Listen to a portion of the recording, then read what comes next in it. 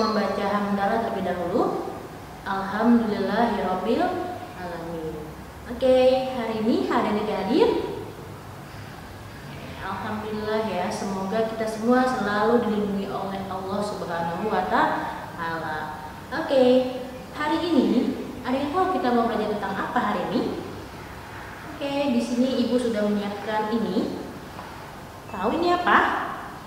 Ya, ini adalah peta yang dibutuhkan atau bisa kita sebut dengan atlas. Nah, hari ini kita akan mempelajari di bab 1 ya tentang kondisi geografis Asia Tenggara.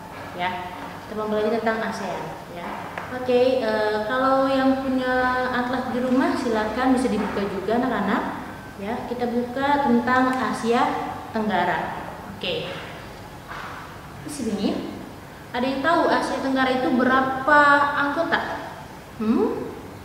Iya, ada 10 anggota Asia Tenggara. Oke, Indonesia termasuk nggak? Iya, Indonesia termasuk. Nah, sini kita lihat, ini adalah gambar dari peta Asia Tenggara. Ya, oke, ini adalah ini negara siapa ya? Iya, ini negara Indonesia betul, negara cinta. Nah, Sampingnya negara Indonesia ada apa? Nah, tetangganya adalah negara Malaysia. Di sini ada Vietnam, ya. Di sini ada Kamboja. Oke. Ini Nah, ini Thailand, Myanmar. Dan selanjutnya ada ini. Ini adalah gambar Brunei Darussalam. Oke, sekarang kita pelajari bagaimana sejarah terbentuknya dari ASEAN itu sendiri ya. Oke. Ada yang tahu ASEAN itu kapan didirikannya? Hmm? Oke, ASEAN berdiri pada tanggal 8 Agustus tahun 1967 di Bangkok, ya. Nah, mereka mengadakan namanya Deklarasi Bangkok di mana terdapat lima negara yang mewakili untuk deklarasi Bangkok yaitu Indonesia pertama. Ya yang mewakili siapa namanya? Adalah Adam Malik. Oke. Kedua ada negara, tetangga kita yaitu adalah Malaysia. Oke. Dia yang mewakili adalah Tun Abdul Rozak. Kemudian ada Filipina. Ya yang mewakili adalah Narcisco Ramos. Yang keempat ada Singapura. Ya. Yang mewakili namanya S Saja Ratnam. Ada yang tahu S-nya itu apa? Hmm? Sultan. Salah, bukan Sultan, tapi Sinatambi ya. Jadi namanya Sinatambi Raja Ratnam. Oke, next yang kelima adalah Thailand. Diwakili oleh Hanat Khoman. Nah, mereka ini ya datang ke Bangkok untuk menghadiri menghadiri deklarasi Bangkok. Kemudian hasil dari deklarasi Bangkok adalah terbentuknya ASEAN yang tadi kita sudah pelajari di peta. Oke, anggotanya siapa aja? Ada 10 anggota tadi ya. Pertama adalah Brunei Darussalam, ya. Kedua ada Indonesia, ketiga Kamboja, keempat Laos, kelima Malaysia, keenam Filipina, ketujuh Myanmar, kedelapan Singapura, kesembilan Thailand, dan terakhir Vietnam. Nah, ini adalah anggota-anggota dari negara ASEAN. Oke, sekarang kita pelajari tentang apa? Bagaimana kondisi wilayah negara-negara di Asia Tenggara atau kita lebih dengan terkenal dengan ASEAN. Oke, uh, tadi kita udah pelajari bagaimana terbentuknya ASEAN. Sekarang kita pelajari tentang bagaimana kondisi di negara ASEAN, ya. Oke, letak astronomis negara ASEAN itu berada di 20 derajat lintang selatan sampai 11 derajat lintang utara dan 90 derajat bujur timur sampai 141 bujur timur. Ya, ini adalah letak astronomis dari negara ASEAN. Kemudian bagaimana e, letak geografisnya? Nah, ASEAN itu diapit oleh dua samudra dan dua benua. Ya, dua samudranya bernama Pasifik dan Hindia. Oke, dua benuanya bernama benua Asia dan Australia. Ini adalah negara-negara dan uh, ini adalah samudra dan benua-benua kita tetanggaan ASEAN ya. Oke, bagaimana batas wilayahnya? Kita lihat di sini. Sebelah utara ya ASEAN itu berbatasan dengan Cina, Laut Cina Selatan, Samudra Pasifik. Ini sebelah utara. Terus sebelah barat Teluk Benggala, Laut Andaman dan Samudra Hindia. Sebelah selatan yaitu Samudra Hindia, Timur Leste, dan Australia. Dan sebelah timur adalah Papua Nugini serta Samudra Pasifik.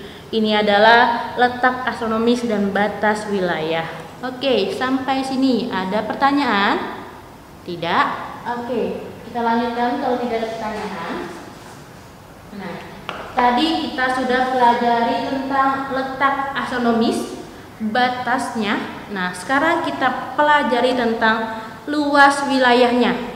Oke.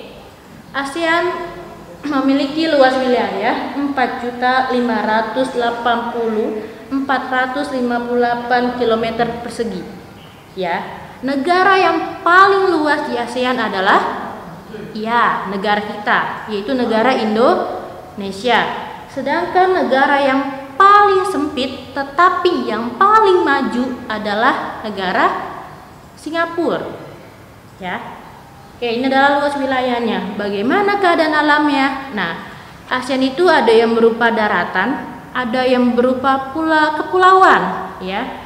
Yang daratan kita lihat di sini ada Kamboja, Laos, Malaysia bagian barat, Myanmar, dan Thailand Singapura serta Vietnam. Ini adalah yang berupa daratan. Terus bagaimana yang berupa kepulauan? Ada negara Brunei Darussalam, uh Filipina, Indonesia, dan Malaysia bagian timur. Nah, ini adalah keadaan alamnya. Nah, ASEAN memiliki pegunungan-pegunungan muda, ya. Ada pegunungan Mediterania, pegunungan Sirkum Pasifik. Ya, selain pegunungan, kita juga memiliki banyak sekali sungai-sungai di Asia Tenggara. Ya, contohnya sungai yang terbesar adalah Sungai Mekong, Sungai Chao Phraya, Sungai Salwen, Sungai Irawadi, dan Sungai Kapuas Hulu. Nah, selain punya sungai, kita pasti juga punya laut. Ya, lautnya Laut Cina Selatan, Laut Andaman, Laut Jawa, Laut Sulawesi, Laut Maluku, Laut Natuna, Arafuru, Timur, dan Banda. Ini adalah bagaimana pegunungan sungai laut yang ada di Asia Tenggara. Oke, terus bagaimana iklimnya? Coba Ibu tanya sebelumnya, iklim di Asia itu Asia Tenggara itu apa aja? Panas, apalagi? Ada salju enggak? Hmm? Oh iya, tidak ada salju ya. Karena iklim di Asia Tenggara itu uh, cuma ada dua. Iklim tropis, iklim musim. Ya, iklim musim atau lebih kita kenal waktu kelas 7 adalah iklim muson. Ya. Oke, di sini ada iklim musim atau iklim muson. Itu ada yang kemarau, ada hujan. Ya, kemarau itu diperkirakan bulan April sampai Oktober dan hujan bulan Oktober sampai April. Oke, sampai sini ada pertanyaan tidak tentang uh, ASEAN? Oke, semuanya ngerti tentang ASEAN? Oke, ibu ulangi lagi. Tadi tanggal berapa ASEAN itu dibentuk? Ya, benar. Tanggal 8 Agustus tahun 1967. ada berapa yang mendatangani deklarasi Bangkok? Ya, ada lima negara, yaitu Indonesia, Malaysia, hmm, Thailand, Filipina, dan Singapura. Nah, lima negara ini yang mewakili pembentukan dari ASEAN. Oke, sampai sini tidak ada pertanyaan. Oke, kalau gitu ibu yang bertanya, siapkan buku tulis kalian, ya, buku latihan kalian, ya. Oke, perhatikan di papan tulis. Nah, kalian lihat tabel di papan tulis ini, ya. Kalian tulis di buku kalian, judulnya adalah kondisi geografis negara-negara anggota ASEAN, ya.